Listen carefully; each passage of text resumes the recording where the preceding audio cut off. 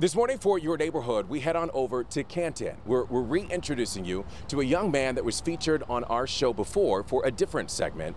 He's making a difference with something that we wear every single day socks. I wanted to help out in the community a lot, and I found out through my mom actually that socks are the most needed thing by homeless people in homeless shelters. For the past two years, Joey Dattilio has made it his mission to give back.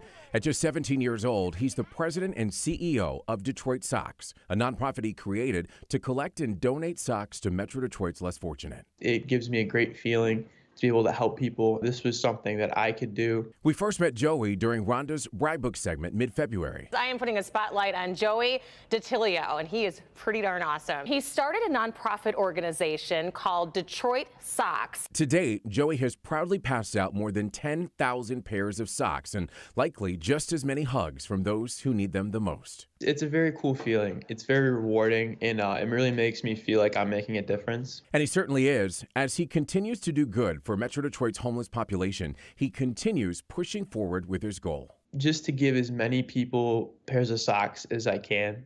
And Joey raises money for Detroit Socks by collecting bottles from family and friends. And as of June 15th, he'll now be able to return them again for money for his nonprofit.